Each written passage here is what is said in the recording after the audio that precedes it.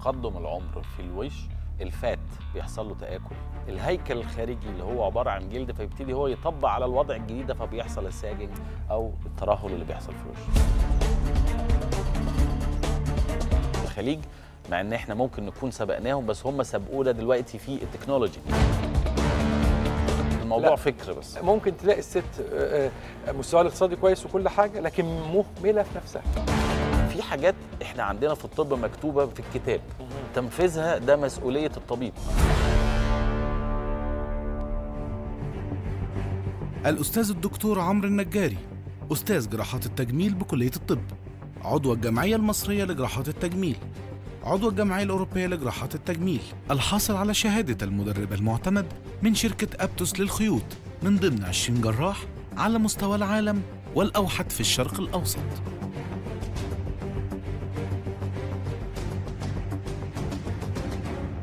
أهلا بكم. عمليات التجميل يا جماعة عملية ترفيهية. يعني غير عمليات البناء والإصلاح مثلا لا قدر الله حادثة ولا حاجة أثرت عملت قطع في صباع. دي عمليات ايمرجنسي عمليات طوارئ. لكن عملية التجميل عملية مثلا بنت محتاجة تعمل شفط دهون بنت محتاجة تعمل تكبير ثدي أو تصغير ثدي. راجل عنده ديفو في مناخيره جامد قوي فعايز يعمل عملية تجميل أنف. دي عملية انت اللي بتختار وقتها. دكتور وانت اللي بتحددوا الزمن بتاع العملية بالظبط. تعرف تختار دكتورك بدقة. عملية آه، قدامك وقت زي ما انت عايز عايز تعملها النهارده عايز تعملها بكرة عايز تعملها بعده براحتك خالص. مش امرجنسي مش طوارئ يعني. آه، عملية لازم تكون انت فاهم كويس جدا أبعادها. لأنها زي ما عملية في أفضل الظروف أجمل الظروف. عملية في أجمل الظروف ما فيهاش مشكلة خالص. زي ما إحنا عندنا في الإعلام حاجة لطيفة جدا اسمها التسجيل لما يجي يقول لك إحنا هنسجل.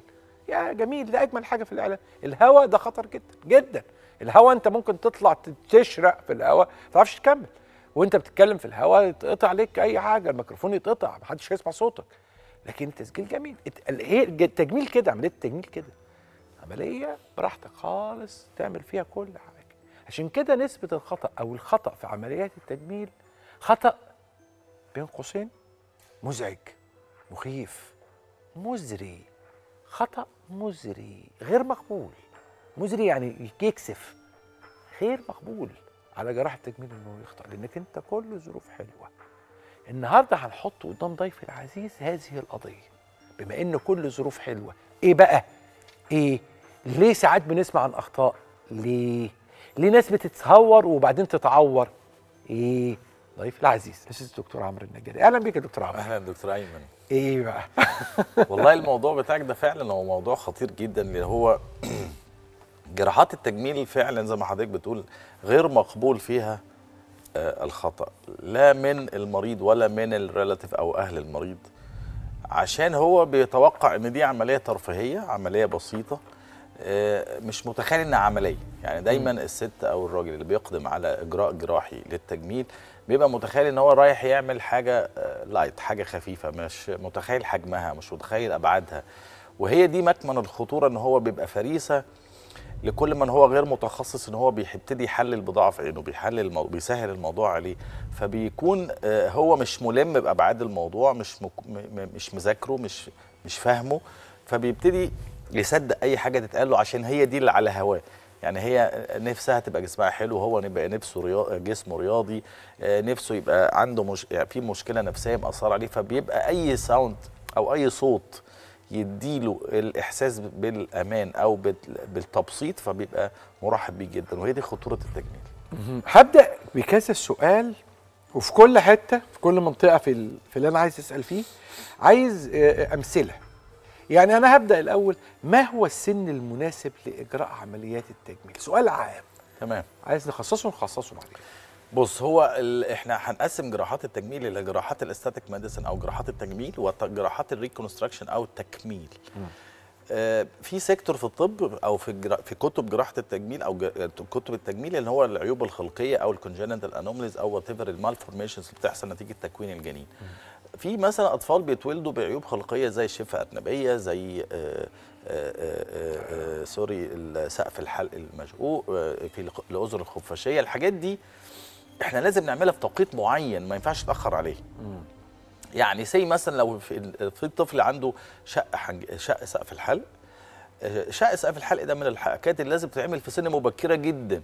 لو اتأخر بعد سن معين هيفضل عنده طول عمره أخنف عنده nasal tone حتى لو اتصلح. بطريقة علمية صحيحة. آه، الأذن الخفاشيه الأذن الخفاشيه دي لازم يبقى مكتوب كده في كتب التجميل لازم تتعمل قبل دخول المدرسة pre-school age ليه بقى؟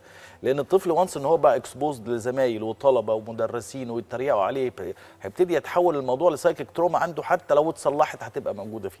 فهنا اختيار السن المناسب في الجراحات دي دي مسؤولية الطبيب المتخصص. نيجي مثلا زي عملية مشهورة جدا زي عملية تجميل الأنف. دي مثل أذن خفاشيه الأذن بالظبط. دي لازم pre-school إيه؟ لازم قبل ما يتعرض لمدرس ويشده من ودانه وطلبة يتريقوا عليه وانت فاهم إزاي؟ هتبتدي الموضوع يبقى psychological عملية سهلة. عملية بسيطة جدا وبتتعمل تحت تأثير مخدر موضعي. من الحاجات الخطيرة جدا اللي لازم لازم تاخدوا بالها مثلا تيجي بنت مثلا عندها 15 سنة 14 سنة ابتدت تحس إن مناخيرها شكلها وحش. ابتدى آه، آه، تروح تشتكي لأهلها إن إحنا لازم نعمل العملية. العملية دي ما ينفعش تتعمل يعني تجميل الأنف عامة ما ينفعش تتعمل قبل سن 18 سنة. لأن تغير في شكل وحجم الغضاريف بتاع الأنف بيتغير لحد هذا السن. لو أنا جيت مثلا وهي عندها 15 سنة تدخلت جراحيا الشكل ده هيبقى غير مرضي أو النتيجة غير مرضية لأن هيحصل تغيرات في شكل الأنف. بعد العملية هيسبب مشكلة أكبر فهنا لازم يعني دي أمانة الطبيب. تيجي البنت البنت جايبة مامتها لازم تعمل لي العملية. ده لا أنا لو أنا وافقت يبقى ده خطأ. هنا أنا ما عملتش البروتوكول الطبي صح ما اخترتش الوقت المناسب ما اخترتش السن المناسب إن أنا أبتدي أشتغل. وهنا بتحصل مشاكل التجميل. وقيس على كده بقى كل حاجة. تيجي مثلا عيانه عايزه تعمل شفط دهون العيانة أبسط حاجة لازم أشوفها أنا عندها أنيميا ولا لأ؟ عيانة هيموجلوبينها 8 أو هيموجلوبينها 9 ليه أدخلها اعمل لها عملية الكتيف عملية ترفيهية عملية ما فيهاش ايمرجنسي ما فيهاش حاجة سريعة. طب نتعالج الأنيميا الأول. عشان لما نطلع من العملية ما يبقاش عندنا معاناة ونضطر ننقل نقل دم ونسمع عن الوفيات اللي بتحصل نتيجة الأخطاء الطبية اللي موجودة في جراحات التجميل وإحنا بنقول إنها جراحات بسيطة. هنا ما نلومش الطب بقى إحنا نلوم الفكر ونلوم نلوم التطبيق الغير سليم للمهنة. كيفية أضع أمام المشاهد العربي أسس علمية عشان يبني عليها هذه الأسس العلمية. يبقى هو فاهم احتياجه. والعكس برضه ما في واحد يبقى عنده المشكلة هو مش دارين بيها. هل نلفت نظره ل- للمشكلة عنده مناخيره؟ بقى وحش. لو أنا أنا كواحد من الناس كان كدكتور بشوف ناس ببقى عايز أقول لهم يا جماعة أنت لو أنت لو عملت مناخيرك وظبطتيها هتبقي تحفة التحف. ببقى متردد في مم. مثلا بص أنا هقول لحضرتك حاجة. هي آه، آه، دايما مشاكل الطب التجميلي أو ال aesthetic medicine بتبقى حاجة نفسية. آه، اساتذتنا علمونا جوه مصر وبره مصر لما اشتغلنا وشفنا بقينا exposed للمدارس الطبية المختلفة never ت direct العيان. يعني أنت بلاش ت direct فكر العيان أو عين العيان لحاجة هو مش شايفها. يعني دايما الموضوع حتى في أدق التفاصيل يعني مثلا ساعات بيجي لنا حالات بتبقى عندها مشكلة في الأنف المشكلة دي مركبة. يعني فيها جزء في مقدمة الأنف فيها جزء في اعوجاج في الحاجز الانفي فيها جزء في العظم فبتلاقي العيان عايز حاجة معينة بس. هنا انت بتبقى قاعد مش عارف تعمل إيه. هل هتقول له ما ينفعش؟ هتقول له هينفع؟ فنبتدي من حقه إن هو يفهم. وانس إن هو فهم هيبتدي هو يراجع نفسه. لكن لما يبقى الموضوع هو جاي يعمل آه، خدود مثلا عشان يداري مناخير كبيرة هنا أنا لازم ابقى اقف له بقى. يعني ده دايما في بنات كتير قوي بتقول يا دكتور أنا أنا عايز أ- عندي مشكلة في مناخيري بس أنا فكرت هي فكرت إن هي لو حقنت خدودها مثلا مناخيرها هتصغر. الكلام ده طبعا غير منطقي بالمرة. هو ممكن يدينا حاجة مؤقتة لكن مش حل للمشكلة. اختيار العملية زي ما حضرتك قلت آه، دي حاجة بنابعة من دراسة. يعني كل آه، آه، الطب التجميلي يا دكتور أيمن ده علم أنت مع حضرتك عارف الكلام ده كل العلم يعني لما لو نيجي نتكلم على الأنف الأنف دي كتاب الأنف كده بيقول إن في كذا ديفورميتي أو واحد اتنين تلاتة أربعة خمسة ستة من الحاجات اللي ممكن تحصل في الأنف. أيوه. الحاجات دي تصلح كذا ده كذا وده كذا. طيب هل إحنا بنبتدي نعمل standard للكلام ده؟ يعني إيه نعمل standard هل إحنا كل عيان بنتعامل معاه زي التاني؟ أنا شايف إن الكلام ده مش مظبوط. لأن أنا عشان أضفي صفة الجمال أو ال- ال- ال- التغيير الشكلي لازم أحافظ على ال natural look يعني إيه ال natural look يعني أنا ما بيبقاش مصطنع. يعني دايما في ناس كتير قوي إحنا لما بنشوف مناخيرها بنعرف ان عاملاها حتى لو حلوة. لأن هي over corrected بقت بقى شكلها مصطنع بقت كل المناخيرات شبه بعض. يعني خلاص بقت اسطمبة. الجراح ده ليه طريقة معينة بيمارسها بطريقة معينة بأسلوب معين بيتعامل معاها مع كل أنواع البشرة والجلد والغضاريف والعظم فبتلاقي كل المناخير لدرجة إن إحنا في ناس من الناس الجراحين على مستوى العالم إحنا بنشوف العينه بنقول دي عاملاها عند فلان لأن هو ثبت ال standard بتاعه. أنا أعتقد إن دي حاجة مش مظبوطة حتى لو كانت مرضية لبعض الناس. آه، اختيار نوع العملية اختيار شكل العملية اختيار إن أنا هعمل عملية أصلا وأنا لأ. يعني في ناس مثلا بتيجي تقول لك دكتور أنا عايزة أكبر صدري. أنا بقول لها أنا مش هينفع أحكم على الموضوع ده إلا لما أشوف سيادتك كان عندي أبعاد عندي مقاسات بعملها. آه، آه، آه، محيط الصدر بع- ال- ال- ال- التواجد أو الليفل بتاع تواجد النابل وال- والهالة والحلمة. الحاجات دي كلها إحنا بنقيسها. آه، العضلات موجودة بشكل منتظم ولا لأ؟ التكوين ال- الغدة هل في مشكلة؟ هل في herniation؟ هل في tuberous breasts الحاجات دي إحنا بنقيمها. والله لا يا فندم أنا شايف إن أنت كويس. طب أنت ما تعملها ليش ليه ساعتها؟ أنا ما أعملهاش لحضرتك ليه؟ لأن أنا بأمانة بعرف إن أنا عشان أعرضك لمخاطرة. مخاطرة العملية مش عشان هي خطيرة مخاطرة العملية إن أنت هتخشي أوضة عمليات هتاخدي بنج هيبقى في مشرط في جسمك هيبقى في prosthesis أو implant اتحط في جسمك كل ده مخاطرة حتى لو بسيطة.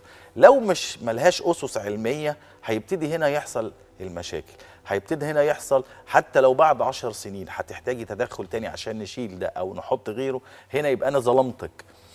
الفكرة كلها إن هي محتاجة نوع من أنواع الثبات النفسي أو المعالجة النفسية عشان أقول لها لأ ده أنت كويسة جدا. أنت كده perfect أنت كده بقيتي standard أنت كده. لو أنا ما قلتش كده عشان أي سبب تاني يبقى أنا غلطان. أنا هاجي على محطة مهمة قوي اسمها محطة الجرح. دي بتاخد وقت طويل في المناقشة. أوه آه، وقت طويل حاجة. جدا. آه لأنه مثلا في مثالين شهيرين جدا لأنواع الجروح أو ثلاث أمثلة. أنا عايز نتكلم عنهم بالتفصيل. اولا في الوجه فين جرح فين جرح شد الوجه؟ انت هتعمل لي دلوقتي شد وجه, جراحي هتعمل لي الجرح فين مثلا يعني؟ حاجة تانية في الصدر. فين مكان جرح الصدر؟ هل حوالين الحلمة ولا تحت الصدر بالظبط؟ وهيبان ولا مش هيبان؟ ثم جرح شد البطن. يعني إحنا عايزين نتكلم على الثلاث جروح دول. طيب هو ربنا ولو غيرهم كمان أوكي. آه هقول لحضرتك. لا كل بص كل حتة في جسمك ليها طريقة الجرح. اللي عشان يبقى تجميلي. والدراع ما أنا هقول لحضرتك. آه. بص هو ربنا خالق خطوط غير مرئية بيعرفها الجراح أو جراح التجميل المتخصص. الخطوط دي لو خفيف. إحنا حطينا الجروح فيها ما بتبانش حتى لو في الوش. يعني دايما لو حد مثلا يعني عمل عملية في وشه أو عمل عملية اضطر يبقى عنده حاجة كل ما الجرح في الوش يبقى عرضي ما بيبانش. كل ما هو يبقى طولي بيبان. عشان أجي اعمل عملية مثلا زي آه، آه، آه، شد الوش إحنا إزاي بنشد الوش إحنا بنشد الوش عن طريق ان إحنا بنبتدي نفرد الجلد ده مش بس نفرده لا إحنا كمان بنشد العضلة أو ال SMAS لأنه بيحصل لها attenuation وحصل sagging في العضله عشان ما يبانش. الجرح ارتخاء. بنبتدي نعمل خط قدام الودن على فكرة. آه آه وبعد كده بيلف من ورا الودن ويكمل فيه anterior hairline عند الشعر من ورا. لما أنا أجي بعمل كده وابتدي أرفع الجلد كله وأسلكه لحد مناطق معينة anatomical إحنا عارفينها عشان ما نبقاش بنسبب خطورة على أعصاب الوش. وبعد كده بنبتدي نشدها الأول بنشد العضلة وبعد كده بنقفل الجروح. حتى لو أنا عارف مكان الجرح كويس أنا لازم أبقى عارف أسس يعني إيه أقفل جرح كويس. إيه اللي بيبوظ شكل الجرح يا دكتور أيمن؟ يعني مثلا ممكن تلاقي جراحين صغيرين في مش فاهمين الكلام ده. أنا بعمل عملية مرة تطلع حلوة مره تطلع وحشة.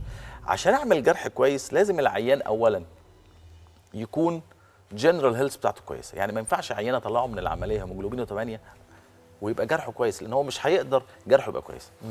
أهم حاجة في خط الجرح يبقى ما فيش عليه tension يعني إيه ما فيش عليه tension ربنا خالق مفيش في- عليه شد. أشد بالظبط كده. لا، متخيط مرتاح أنت عارف أنت لو جاكيتتك دي ضيقة عليك وأنت قاعد هتبتدي تمسح آه، هيبتدي الخياطة. بتاعتها تفك. هو ده اللي بيحصل. لو في الجرح مشدود قوي أو عليه tension قوي بيبتدي الجرح يفتح. ما هو أنت بتتحرك. وأنت بتتحرك هتلاقي الجرح ده ابتدي يتمط فيطلع جرح عريض. عشان أمنع الكلام ده ربنا خالق في في طبقات جسمنا طبقات قوية جدا من جوه. هي دي اللي بنخليها تشيل ال tension. يعني إيه بنخليها تشيل ال tension؟ إيه، أدي الطبقات أهي. الطبقة دي هي دي الطبقة اللي نهتم إن إحنا نخيطها كويس قوي ونقربها بحيث إن نخلي الجلد أصلا هو مش محتاج يتخيط هو خلاص هو ال- ال gap بقى coapted ما بقاش عليه tension فبقى مريح. هيلم كويس جدا. once ان العيان حالته ال- الصحية هيموجلوبينه كويس قوته الالبومين ال proteins اللي في جسمه كويسة متغذي كويس ما يبقاش عنده انيميا ما يبقاش عنده cachexia ما يبقاش عنده الحاجات اللي هي متخليه ما يقدرش يطلع من العملية كويس. ال ambulation أو الحركة بتاعته على حسب نوع العملية. أنا بسعد جدا لما مريضه تيجي تقول لي أنا رحت لجراح تجميل مثلا راح الدكتور عمرو النجاري فعاملني كأني مريضة بطن طلب تحاليل ومش عارف إيه والكلام ده كله. يعني عايز أعمل الجراحة وبتاع. في بنات تيجي تقول لي كده مريضات يعني. بتبسط قوي هل جراح التجميل الآن أصبح ملم جدا أو المفروض انه يكون ملم جدا بالتحاليل الفحوصات قبل طبعاً. العملية؟ طبعا. آه يعني أنا عايز أقول لحضرتك هي هي بتبقى آه، شعرة ما بين النجاح والفشل في التجميل. شعرة على فكرة. شعرة دي إن أنت تطبق العلم صح.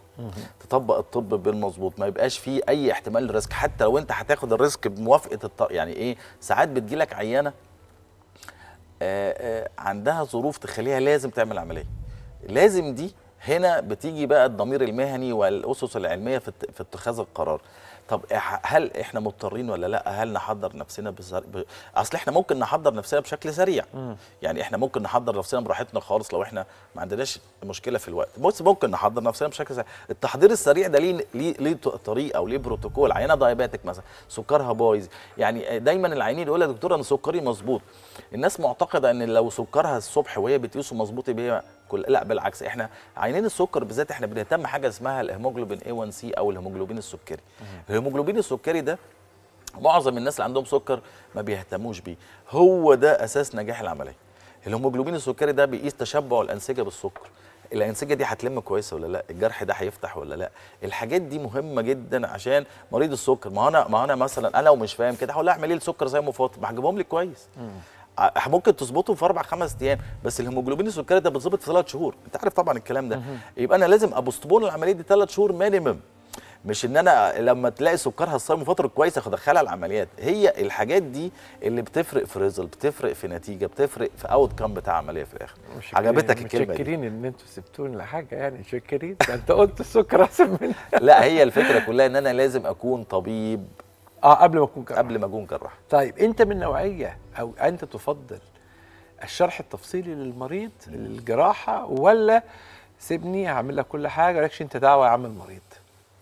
ولا في كده وفي كده؟ لا أنا هقول لحضرتك بالراحة. أنا صراحة بحب أشرح كل حاجة بس هي ال ال ال ال ال ال العيانين في مصر أو في ال Middle East عامة هم شايفين إن الموضوع ده يا دكتور أنت بتخوفني من العملية.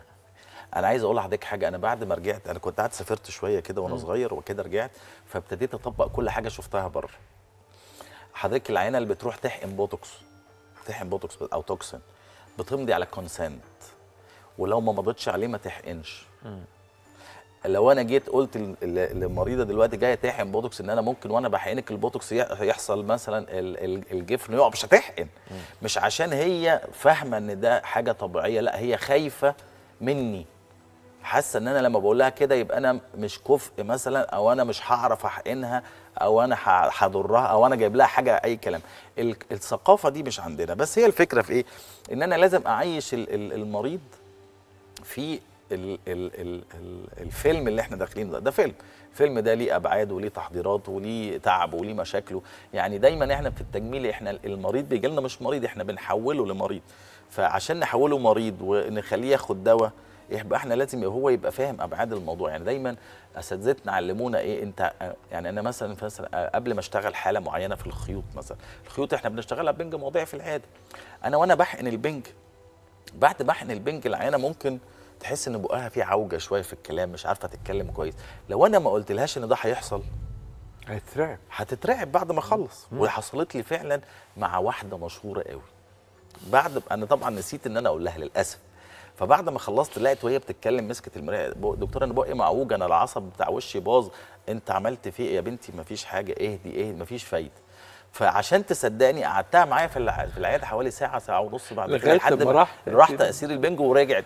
هي الفكرة كلها. هي ممكن ما تبقاش مدركه هي مش مدركه سوري. هي ما تبقاش ملمة هي لازم أقول لها كل حاجة. دلوقتي أنا بقيت قبل ما أحقنها بقول لها وأنا بحقنك البنج هتحسي بلسعة البنج بعد البنج هتحسي إن لس- لسانك تقيل أو بقك تقيل منمل شوية. بعد يعني كل حاجة لازم أقولها لها. أنا عايز أقول لحضرتك إن أنا ساعات بقول لحاجات للعيان آه، في عي... في عمليات معينة بعد ما نعملها تلاقي العيان يحس بوجع في حتة تانية خالص من جسمه. ساعات عيانه بعد الشفط تلبس الكرسي تحس إن بيجي لك العيان تقول لك يا دكتور أنا وش رجلي وارم أنت شفيت لي بطني. كل ده بيحصل نتيجة الكرسي. يعني هي لما بنعمل compression على البطن بالكورسيه فبيحصل إن ال... ال... الرجوع الدم بيقل نتيجة ال compression فبيبتدي يحصل شوية ارتشاح شوية تورم طبيعي خالص. لو أنا ما قلتلهاش إن ده هيحصل دي مشكلة كبيرة بالنسبة لها فلازم تبقى قايلها كل حاجة محتملة وغير محتملة. حتى لو مش هتحصل انت لازم تبقى قايلها عشان once إن هي ابتدت تحصل هي صدقتك. لو انت هتقول لها الموضوع ده بعد ما يحصل صعب إنها تصدق. هو ده اللي يفرق مكان عن مكان. هو ده اللي يفرق المحترفين من المدعين. التجميل بقى فيه مدعين كتير. لما هتدخل مكان إن ما كانش تقابل دكتور تتأكد من إنه دكتور تجميل فعلا مش أي حاجة تانية. ويكلمك في هذه النقاط كلها. سنك نوع عمليتك أسلوب تدخله الجرح هيبقى فين الالترناتيف البدائل آه، آه، بعد العملية أثناء العملية ما يحدث آه، مطلوب منك إيه بعد ما تعمل شد أو شفط أو تعامل مع أذن أو أنف أو filler أو بوتوكس إيه اللي هيحصل بالظبط؟ المطلوب منك إيه فحوصات هعمل لك فحص شكله عامل إزاي؟ تحاليل عاملة إزاي؟ لو ده كله ما اتطلبش أو ما اتعملش ب principle صحيحة اعرف إن أنت في مكان غلط. اعرف إن أنت إيه اجري. في حاجة غلط فعلا. اجري. اطلع اجري من المكان.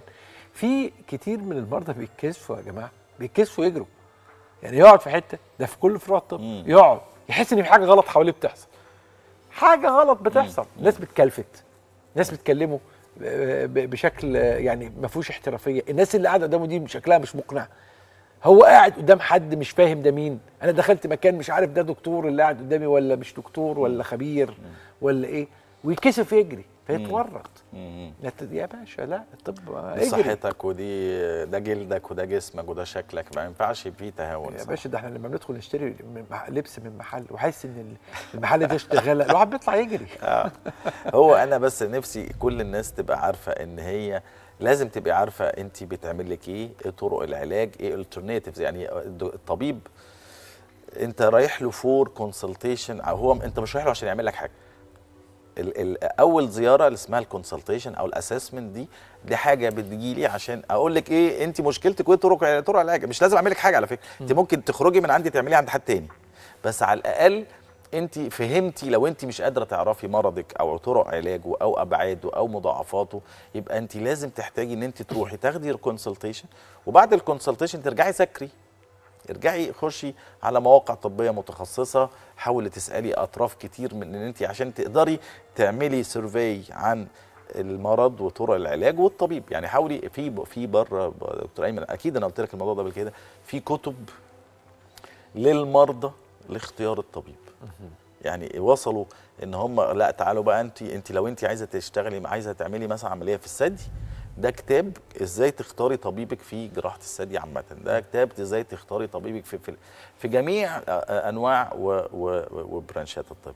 هي بس إيه الموضوع إن هو ساعات في ناس بتاخد التجميل ده إن هو حاجة light حاجة خفيفة كأنها راحة للكوافير. في ناس بتتعامل مع التجميل ده بالتجربة ودي حاجة غلط أو في حاجة ناس بتتعامل بالتجميل بالسمع. أو إن هي شافت واحدة صاحبتها شكرت في حاجة. ماشي مش عيب إن انت تروحي ورا حد relative ليكي أو حد ثقة ليكي. بس برضو ده ما يمنعش إن انت لازم تقيمي الموقف بعقليتك انت مش بعقلية الآخرين. أنت نورتنا وأسعدتنا بهذا الحوار الاحترافي الشديد جدا النهارده.